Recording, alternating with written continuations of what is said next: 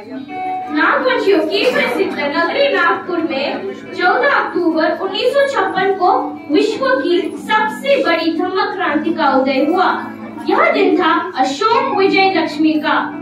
बाबा साहेब ने दीक्षा भूमि में अपने लाखों अनुयायियों के साथ बौद्ध धर्म में प्रवेश किया। बौद्ध धर्म सभी तरह से परिपूर्ण है। ये धर्म अंधविश्वास के स्थान पर बुद्धि का प्रयोग करता है।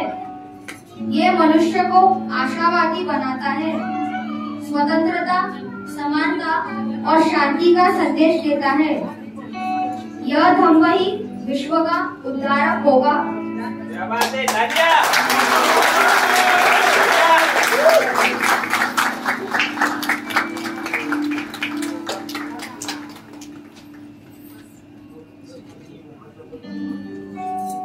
जय भीम नमो सबका मंगल हो।